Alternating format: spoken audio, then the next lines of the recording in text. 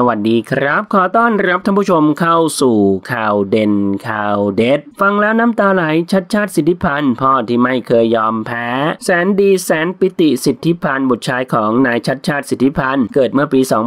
2543 เมื่ออายุได้หนึ่งขวบ 2 เดือน มีญาติตั้งข้อสังเกตว่าเรียกแล้วไม่หันเหมือนไม่ได้ยิน ชัดชาติจึงพาแสนดีไปหาหมอและพบว่าลูกหูหนวกในระดับที่หนวกสนิท วินาทีนั้นชัดชาติทั้งเสียใจทั้งตกใจเขาร้องไห้และปฏิเสธความจริง ไปบนบานสันกล่าวร้ายแห่งให้ลูกพูดได้และได้ยิน ก่อนที่เขาจะตั้งสติได้และตระหนักว่าชีวิตไม่มีปาฏิหาริย์เราต้องสร้างมันด้วยตัวเอง เขาจึงตั้งปณิธานว่าจะสู้เพื่อลูกเพื่อให้ลูกได้มีชีวิตปกติที่สุด และนั่นคือวินาทีที่เปลี่ยนชีวิตของแสนดี จากนั้นชัดชาติหาหนังสือและงานวิจัยที่เกี่ยวกับคนหูหนวกมาศึกษามากมาย จนพบว่ามี 3 ทางเลือกสำหรับคนหูหนวกคือ 1. ใช้ภาษามือ 2. ใส่เครื่องช่วยฟังและอ่านปาก 3. ตัดผนังประสาทหูเทียม ชัดชาติอยากให้โลกได้รับการตัด แต่เมื่อ 20 ปีที่แล้วเมืองไทยมีการตัดแบบนี้ไม่มากและยังไม่ประสบความสำเร็จ คือคนที่ตัด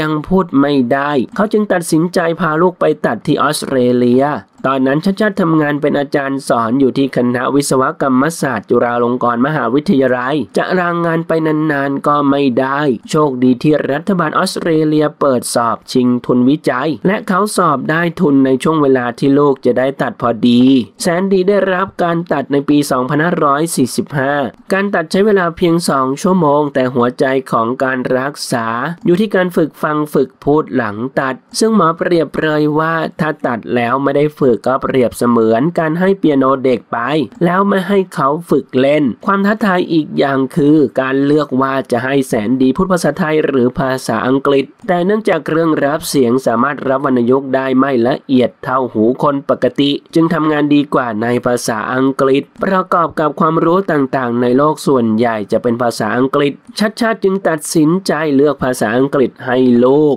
ครูฝึกที่ดีที่สุดของลูกก็คือพ่อแม่ ชัดชาติกับภรรยาต้องเข้าอบรมเพื่อมาฝึกให้ลูก ช่วง 6 เดือนแรกแสนดีไม่ยอมพูดเลย จนมีบางครั้งที่ชัดชาติสงสัยว่าเขามาถูกทางหรือเปล่า แต่เขาเลือกที่จะไม่ยอมแพ้ จนในที่สุดแสนดีก็พรังปรูออกมาและกลายเป็นเด็กช่างพูด หลังฝึกพูดอยู่หนึ่งปีครึ่ง หลังจากนั้นแสนดีก็สามารถเติบโตและใช้ชีวิตได้อย่างเด็กทั่วไป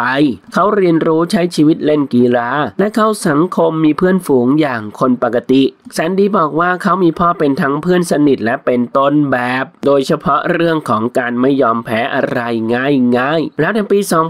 2565 แสนดีในวัย 22 ก็สำเร็จการศึกษาระดับปริญญาตรีด้านประวัติศาสตร์ จากมหาวิทยาลัยวอชิงตัน หรือ University of Washington สหรัฐอเมริกา โดยชัดชาติซึ่งปัจจุบันเป็นผู้ว่าราชการกรุงเทพมหานคร บินไปร่วมแสดงความยินดีกับลูกชาย ขอแสดงความยินดีกับความสำเร็จอันเกิดจากความพยายามของทั้งคู่ด้วยนะครับ ท่านผู้ชมนะครับ มีความคิดเห็นอย่างไรกับเรื่องนี้ลองแสดงความคิดเห็นกันเข้ามาดูนะครับ ขอขอบคุณข้อมูลจากโซเชียลนิวส์ขอบคุณครับ